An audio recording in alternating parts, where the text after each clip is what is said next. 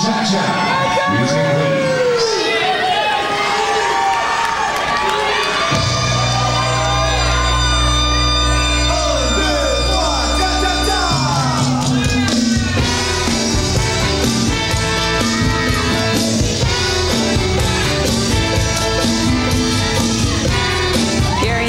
showing their athletic ability here, mixing with lots of rhythm.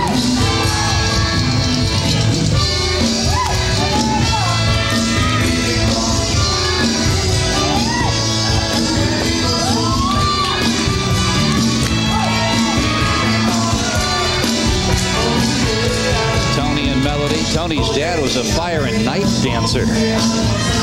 And her father actually worked in Broadway as a tap dancer, so they both have musical backgrounds.